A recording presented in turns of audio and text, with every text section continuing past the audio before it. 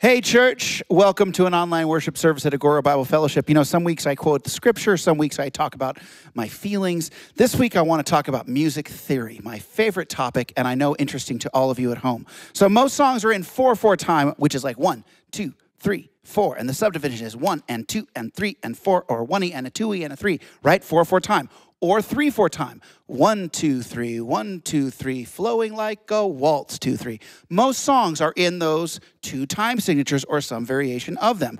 But this song we're going to sing is in a really rare time. It's called 12 8. So it's like one, two, three. So it's got like a triplet and a backbeat feel. And it just gives it this cool, like, kind of vibe.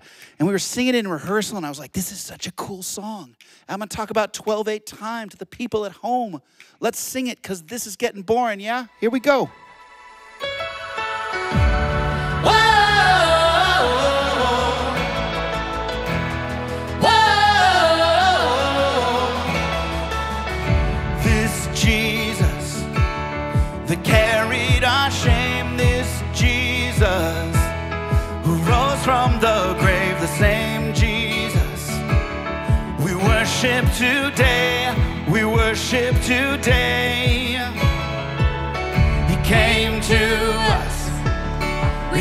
and in truth,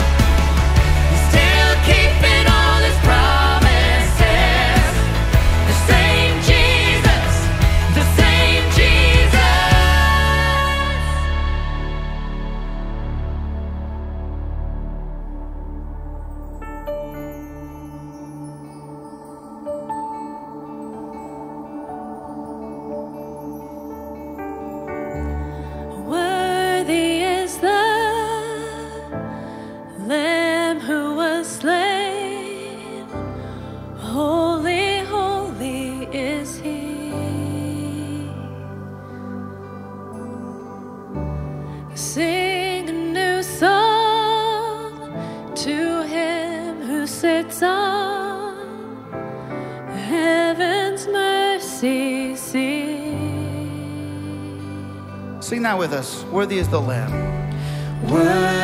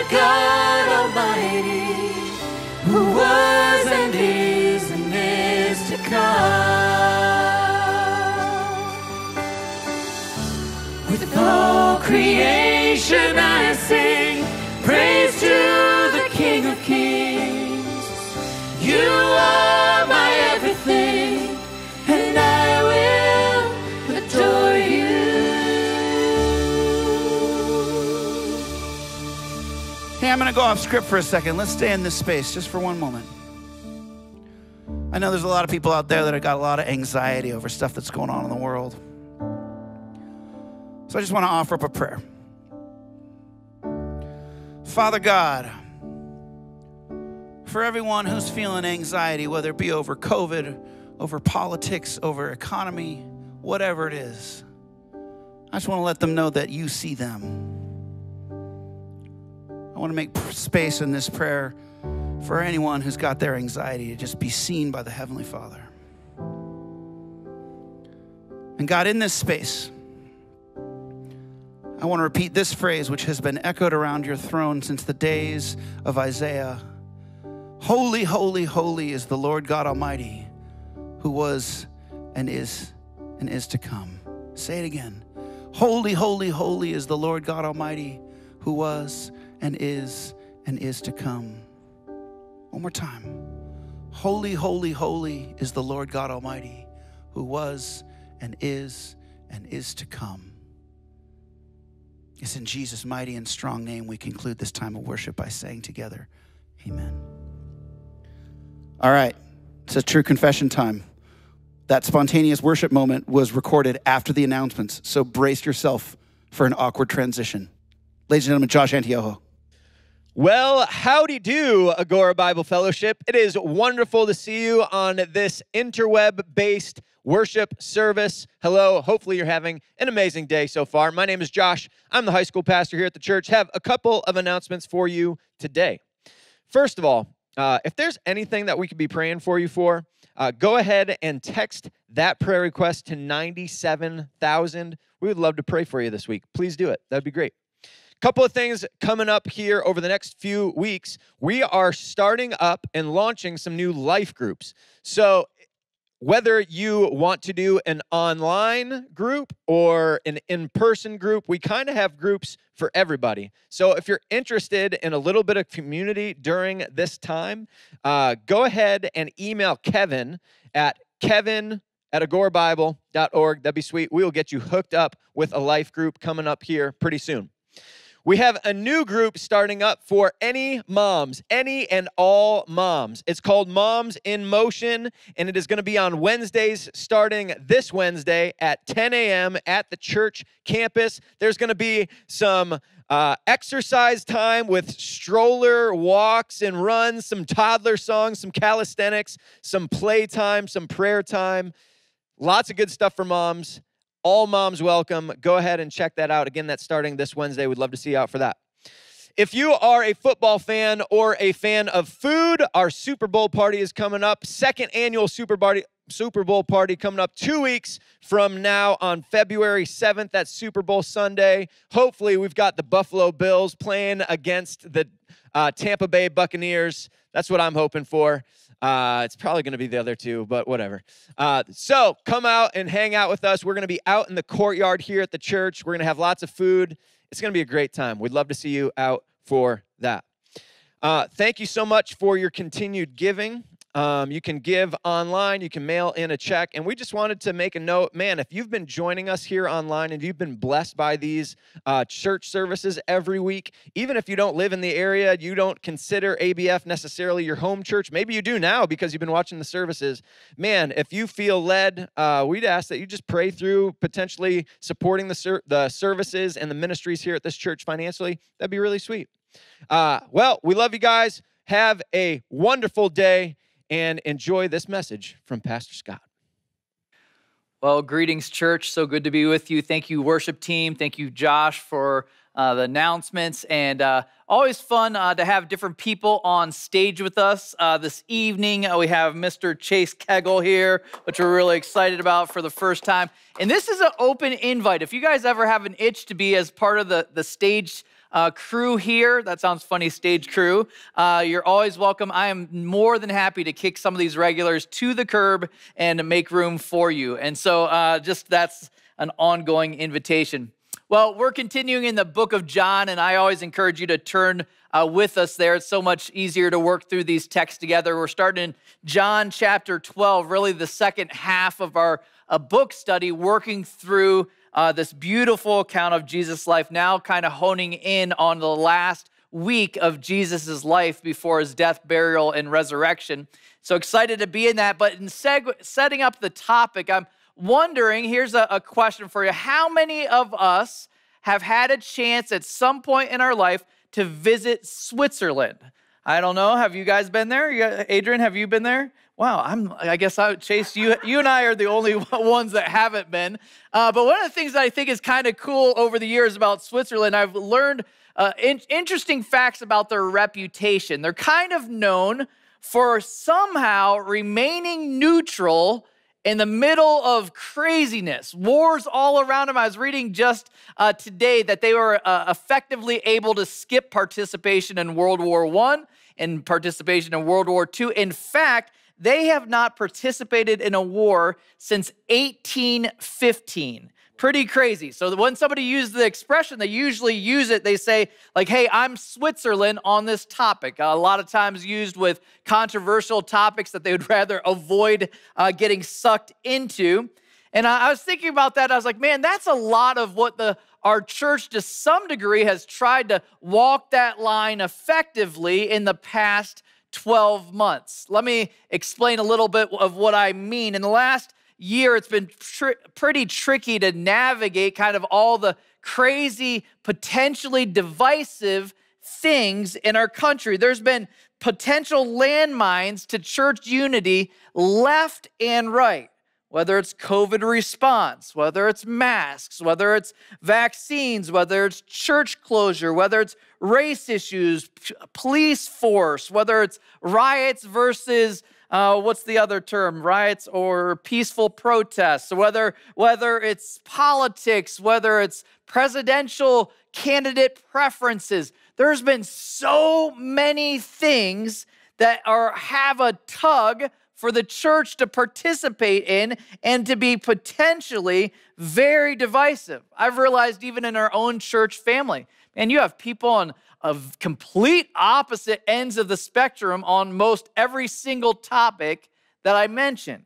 Some people have wished that I would be a little bit more taking a stand on all of these different topics. But it's not because of a lack of opinion that I haven't. Is that correct, Adrian? And in fact, it's not because of a uh, be, being a, a softy or a pushover. In fact, any of you are always welcome to buy me lunch, and I'll share my opinions with you at any point you like.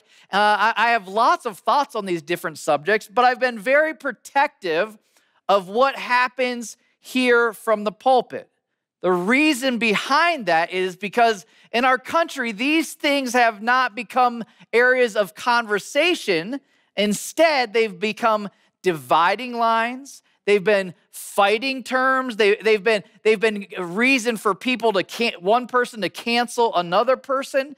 And so we haven't chosen to engage in a lot of these topics for that reason because when I look back and across the, the ministry landscape, I'm like, you know what? There's only a select few things, a select few hills that I'm willing to die on. And really, rarely are they cultural or political. They're almost always biblical or theological. So, we don't avoid topics, uh, uh, really tough topics that our cultural culture's wrestling through, things that we believe are biblical. Last week, we spent some time taking time to identify and, and celebrate the, what we believe is important as it relates to the sanctity of human life. We talked about that. You can think really most every week we address a, a topic that's relevant, but maybe not getting into the weeds with some of the sticky conversations from present day. Well, here, as I talk about things that are worth, hills that are worth dying for, things that you can't really stay on the fence, and you see in our title already, there's really no room in the middle as it relates to our response to Jesus Christ. There's no, no room to kind of be divided and kind of play Switzerland if you want. There's no, no uh, ability to kind of be on the fence. In fact, he describes that person in scripture as being lukewarm and somebody that he wants to spit out of his mouth. Instead, we're called to make a choice, get off the fence, decide where we find ourselves in response to Jesus Christ. That's where our text takes us today. I'm excited to go through this with you. Let me pray before we do that, though. Lord Jesus, we thank you for this opportunity to be in your word. We thank you for the fact that you reign over all of these issues, God. The fact that you are the source of truth. And that's why we keep coming back to your word to seek truth. Pray that we'd be a, a spirit led church, that we respond in the same way that Paul charged Timothy as he's talking to him as a young pastor to lead a peaceful and quiet life, godly and dignified in every way. Trying to find the right balance of that and the tension of this world is a tricky one. And so we lean heavily, depend on your spirit. God, we now, now ask that you speak to us through this text. We invite that. We're excited to be in your word. In Jesus Christ's name, I pray. Amen. All right, so starting in chapter 12, we're going to see some different responses, uh, the, the full spectrum of responses to Jesus Christ. There's kind of come to the point in his ministry where it's no longer on the line. He's coming, he's very vocal about being the Messiah. People have to choose what they're going to do. There's a wanted poster at the local uh, post office, and so people have to decide what they're going to do with Jesus. We'll see first some folks that are fully in. says at the beginning of chapter 12, six days before the Passover, Jesus therefore came to Bethany, where Lazarus was, whom Jesus had raised from the dead. So they gave a dinner for him there. Martha served, and Lazarus was one of those reclining with him at the table. Mary, therefore, took a pound of expensive ointment made from pure nard and anointed the feet of Jesus and wiped his feet with her hair. The house was filled with the fragrance of the perfume. But Judas Iscariot, one of the, his disciples, he who was about to betray him, said, Why was this ointment not sold for 300 denarii and given to the poor? He said this not because he cared about the poor, but because he was a thief and having charge of the money bag, he used to help himself to what was put into it. Jesus said, Leave her alone so that she may keep it for the day of my burial. For the poor you will always have with you, but you do not always have me.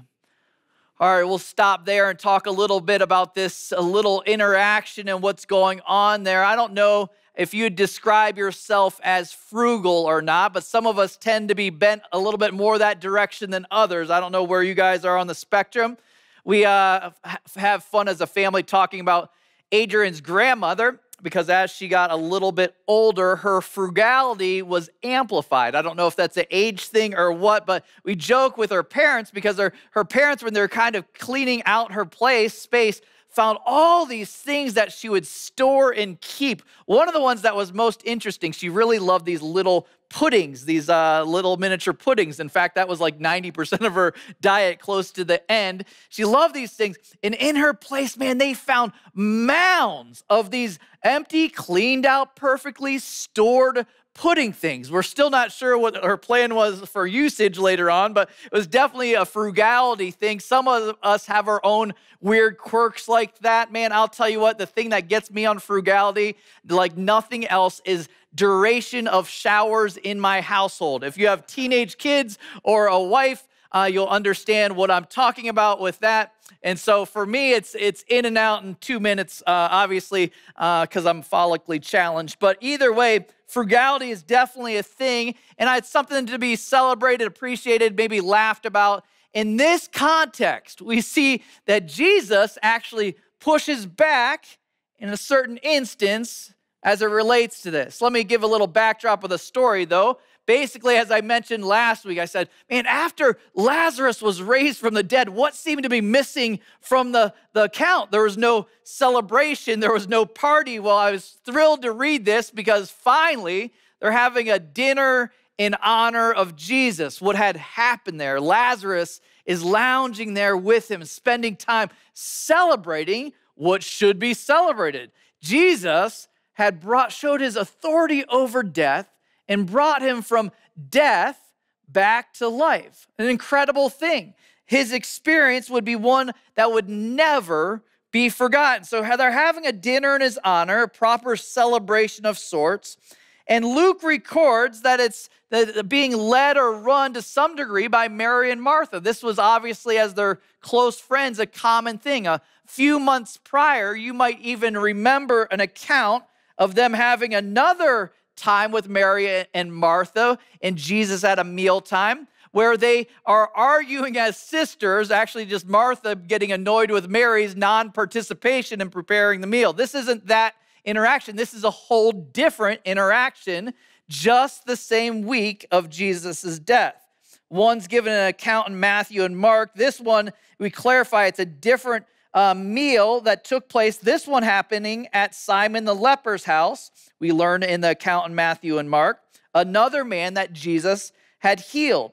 So Martha's serving in the way that she knows best. We shouldn't belittle that. Some of us are wired up with that gift to serve behind the scenes. I'll tell you what, a church could not exist without those folks. We're super grateful, and I think God is completely honored by the person that's helping out behind the scenes. You notice there's no kind of clue or resemblance of kind of complaining from her. It's done with a heart of gratitude, acting out as a servant. But Mary seems to be the more emotional and reflective of the two sisters. It's interesting to me if you do a study on Mary's life and her interactions with Jesus. Really, every scene that she's in, she's always found in the exact same place at Jesus' feet.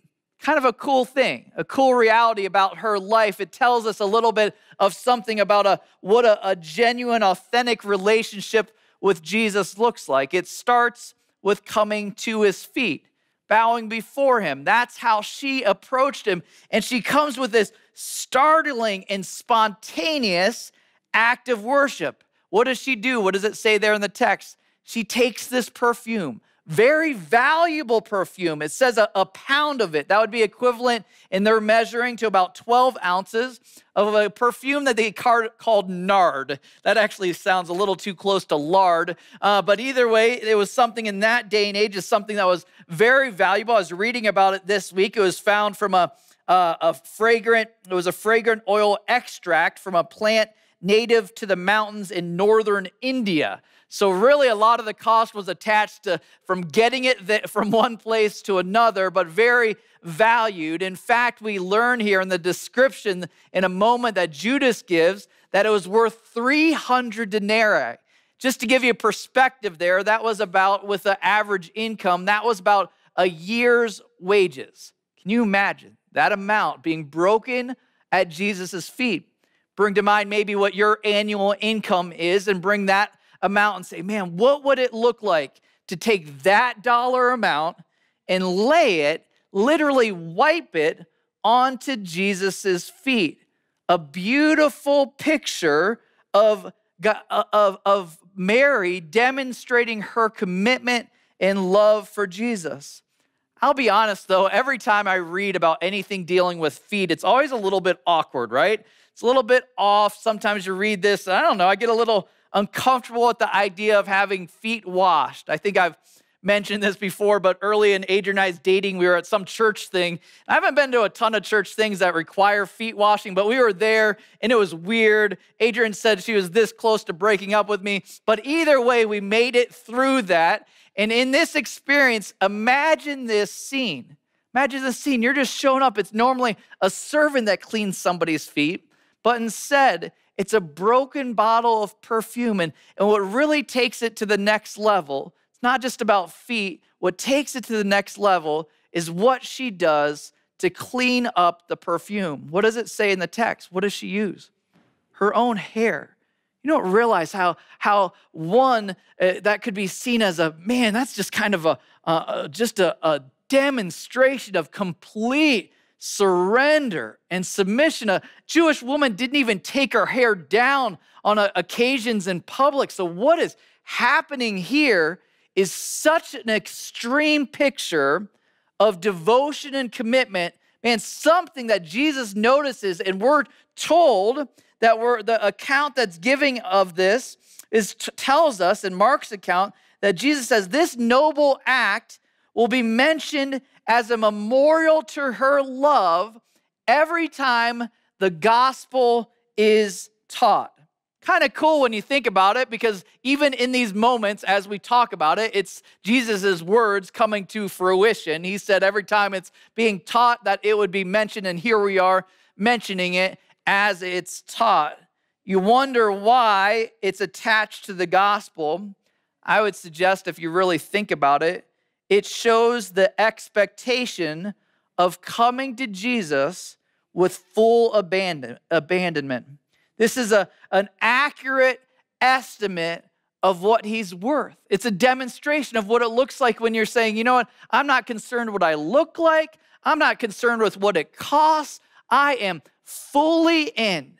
When you're trying to get a picture of a response to the gospel, that is the picture Jesus wanted to make sure was etched into our minds whenever we thought about the gospel. That's the picture of what commitment and submission looks like.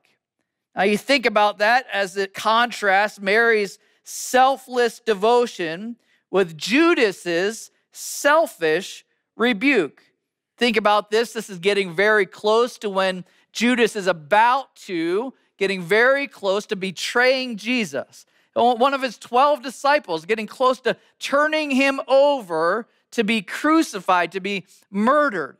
So I imagine as he's at this feast that's intended to honor Jesus, everything about it irritated him just man everything there's there's this inner thing happening i imagine in his in his heart in his mind and he couldn't wait for any opportunity to disrupt the celebration he sees this as the perfect opportunity. He sees this opportunity as a self righteous mean to break up the party. Why was this ointment not sold and the money given to take care of the poor? It's interesting because he wanted to sound compassionate.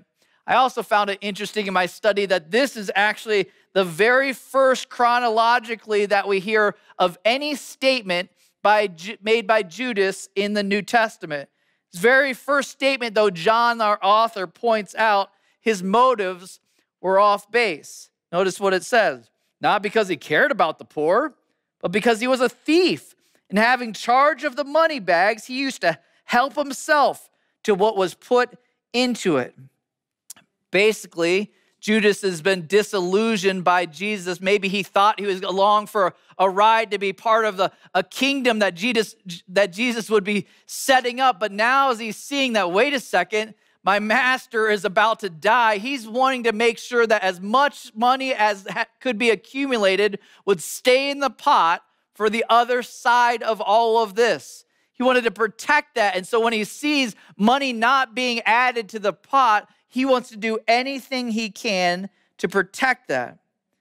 You notice, though, that this would be a kind of a logical argument. In fact, in the other accounts found in Matthew and Mark, we're told that the other disciples joined in the rebuke. They joined in the rebuke because that's a maybe a common question that somebody might ask. Wait, isn't that a, a waste of resources to be used in this manner? It's an interesting question for us still today. What is actually worth it when it relates to Jesus? What Jesus does is he corrects them. He tells them, leave her alone. Man, it would have taken a lot of restraint if I was Jesus in these moments to not confront Judas and be like, you dirty, rotten, especially when you know somebody's motives. Be one thing to remain silent about something when you don't know what's going on in their heart, but when you know the motives behind it, like John did in retrospect, when you know those things, man, it would take such restraint. But instead, he says to leave her alone because it's preparation for burial. It wasn't because he was belittling the idea of serving the poor. He says, man, you have plenty of time and plenty of opportunity. But what he was celebrating was that Mary understood something, understood that he was worth it. He was worth all of it.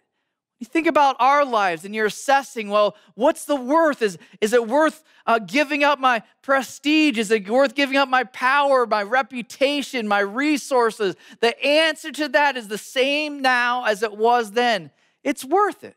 It's worth it all. There's no question mark and there's no sitting on the fence.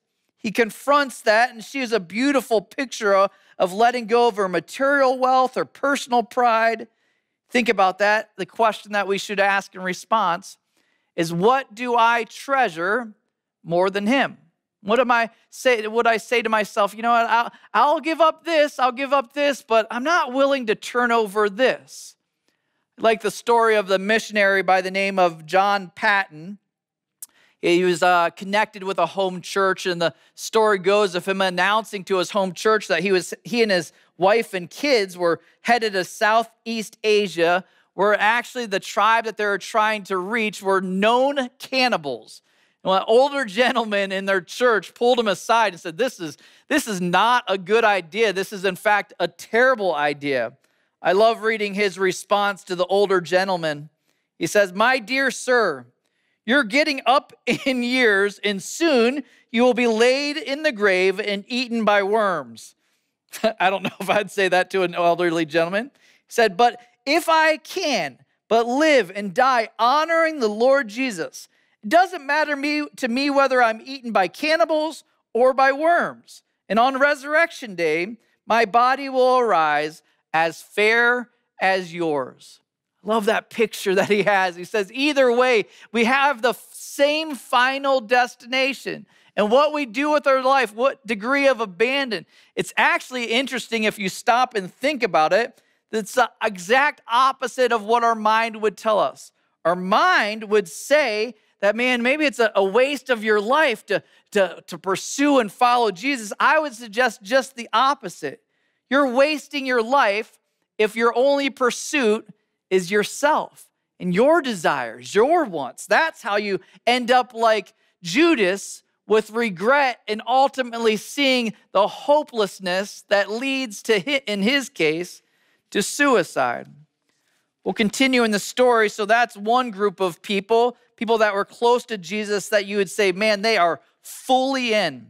Now, this next group in verse 9 would be the group that you would describe as vehemently opposed to Jesus. It says, when the large crowd of the Jews learned that Jesus was there, they came not only on account of him, but also to see Lazarus, whom he had raised from the dead.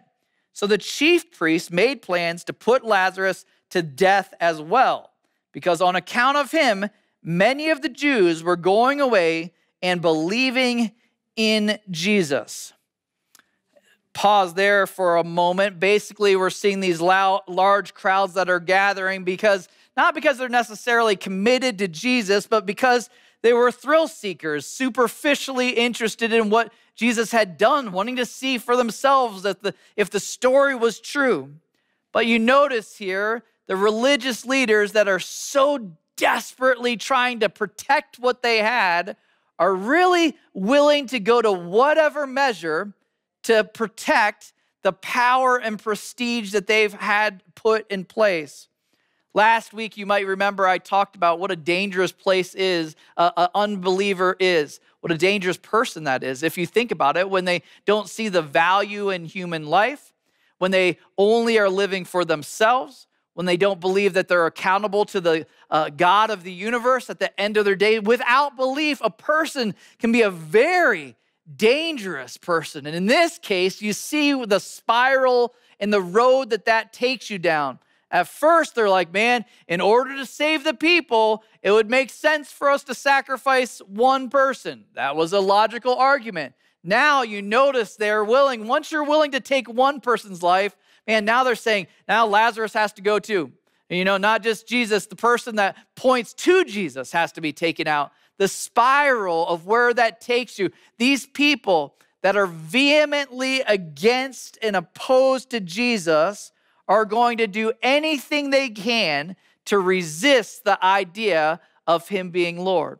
We see that still today. Some people that, man, they are so dug in, they don't want to do anything that jeopardizes their freedom to sin, their freedom to pursue all the things they're after. They will not admit that Jesus is Lord.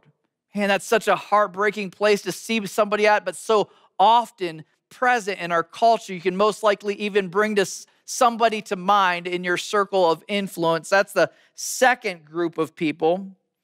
Third, third group of people we see in verse 12, those that are conditionally committed.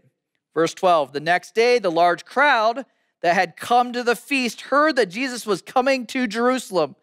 So they took branches of palm trees and went out to meet him, crying out, Hosanna!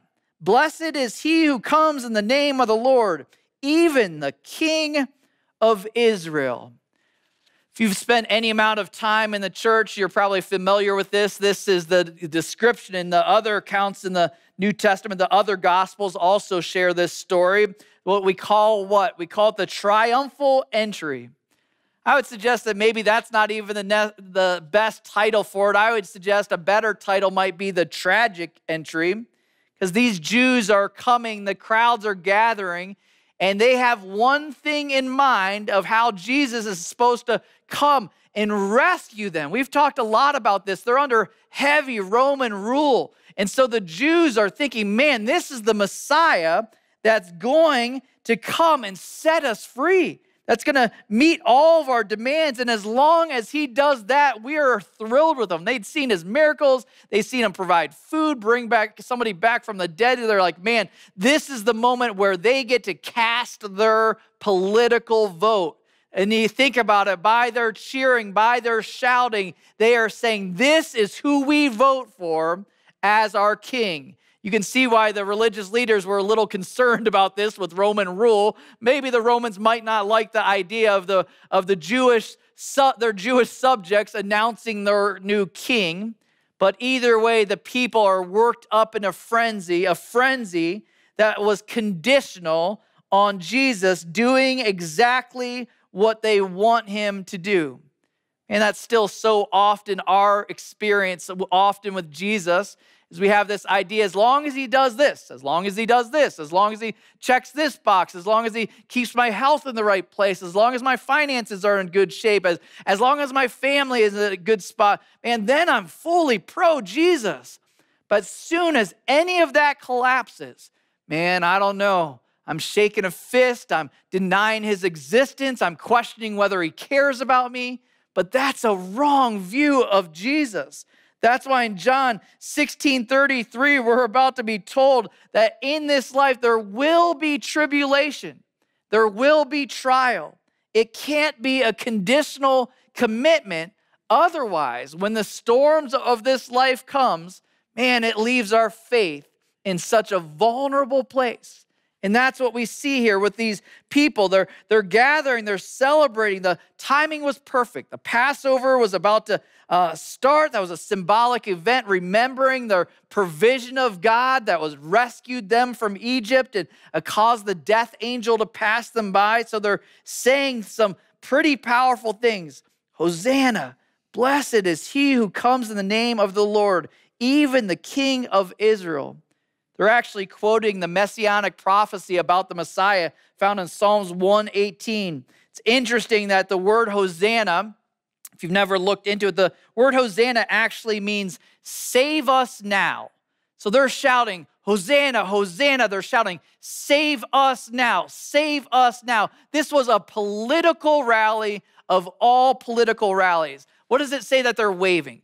They're waving palm branches. In that day and age, that would be like an American flag of sorts. You see, about 150 years prior to Jesus, a guy by the name of Judas Maccabeus led a revolt that helped set them free from the oppression of the Syrians. And so, after his setting them free, they all shook palm branches. So, it became a traditional thing that would be done in a political sense. So, here was even minted on their coins.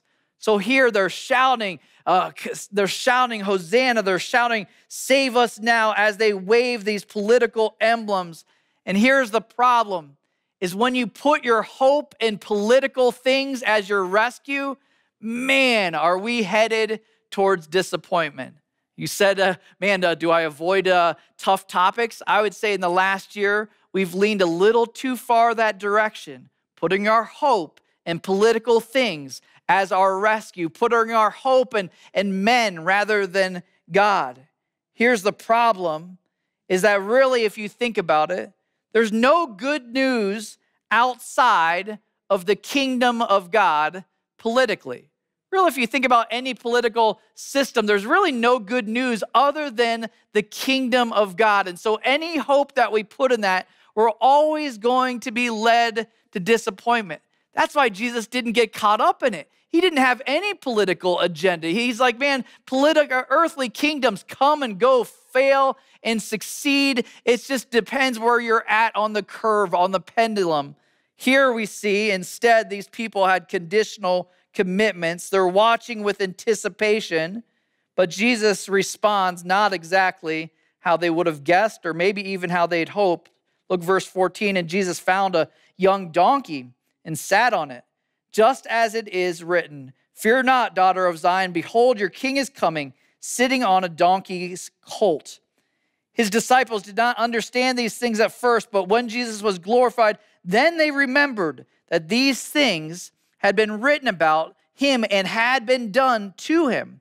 The crowd that had been with him, uh, with him when he called Lazarus out of the tomb and raised him from the dead continued to bear witness.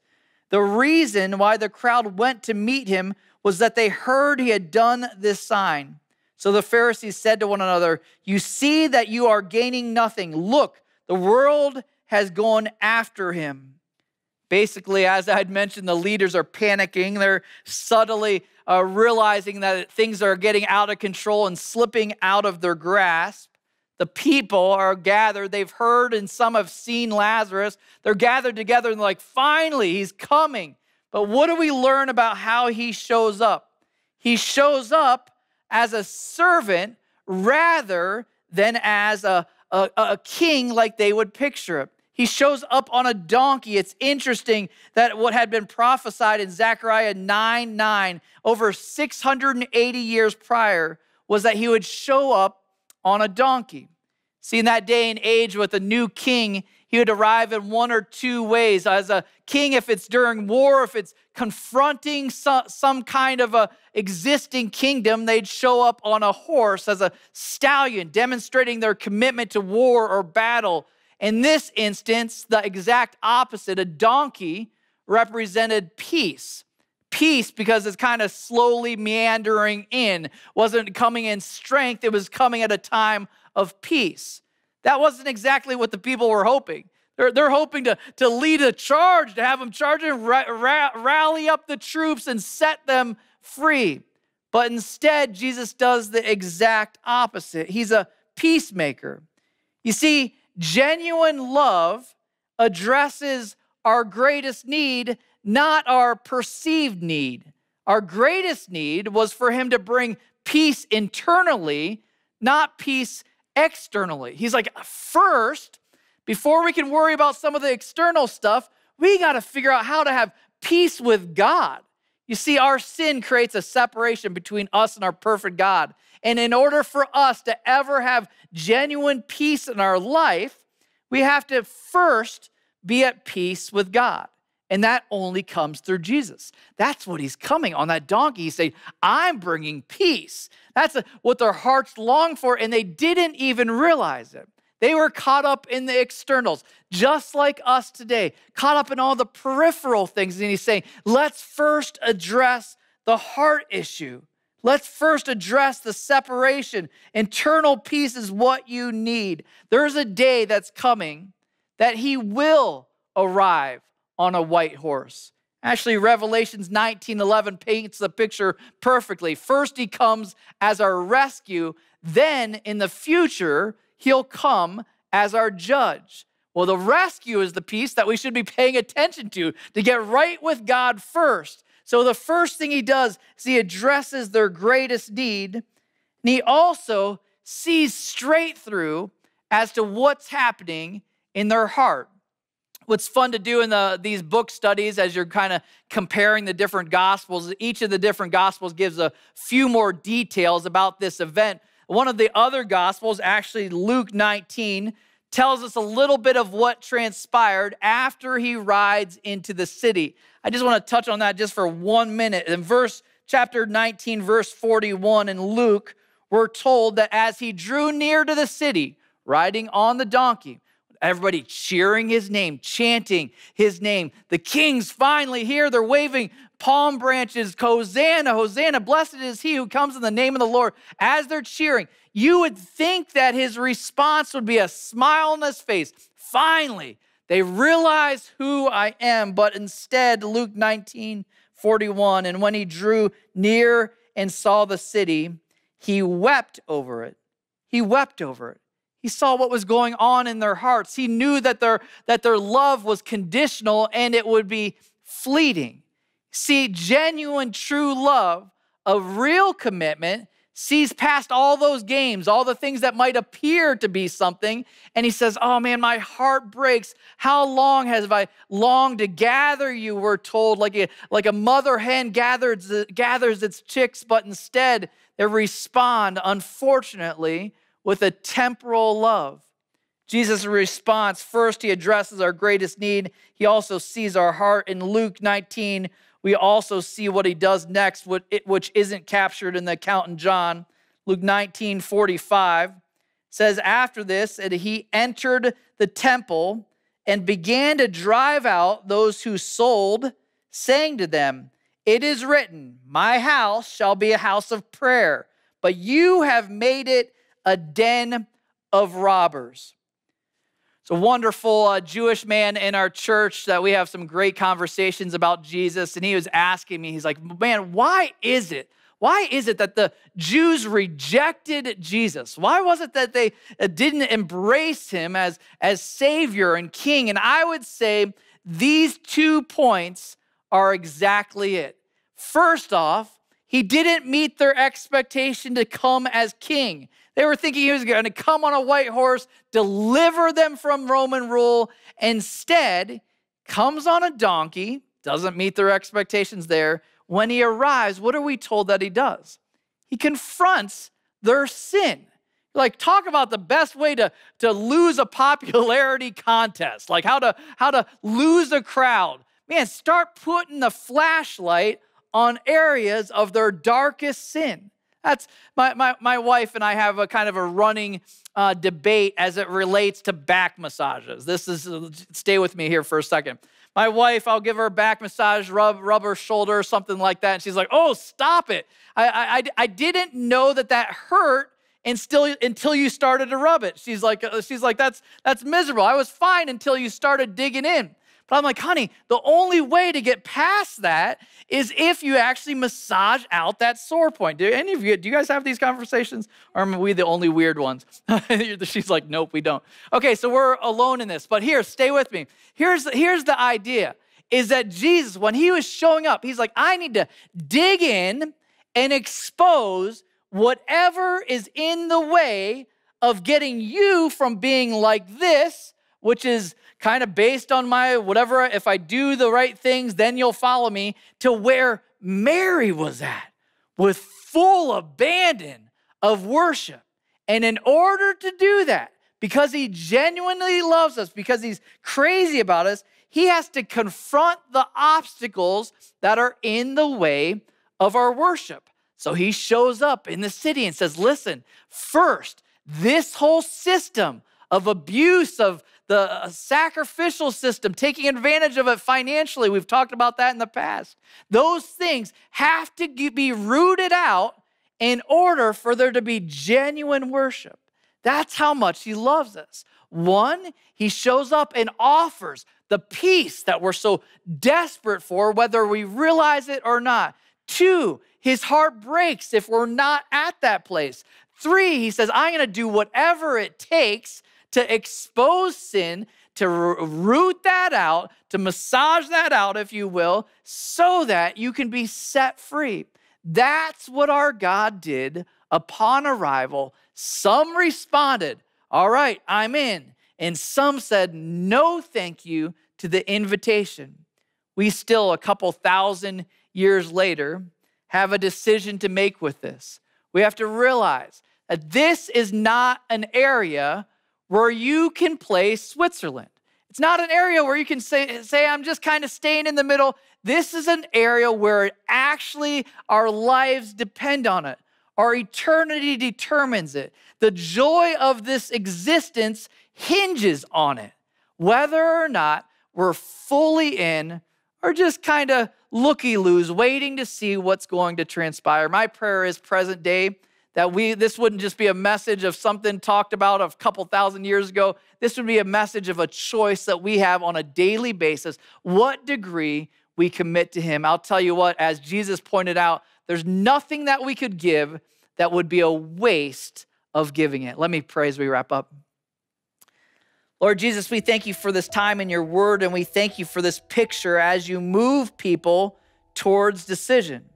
And really, that's your ministry moving people off of the fence to determine how they will respond to you, what degree of commitment they'll have, what level of intimacy they'll experience, even in the here and now. Eternity's hinging on that choice. God, I pray for us as a church family, those of us that have maybe been taken off course in the past year, that there would be a, a coming back to this as a priority, learning from Mary in this example where we start our days on our faces at your feet. I'll tell you what, that's where an authentic relationship begins. I pray that for our church. I pray that for myself personally. I don't want this to be a distance thing that I bring up for other people, not myself. God, do a work in each one of us. We're dependent on your spirit for that. We pray this in the strong name of Jesus Christ. Amen.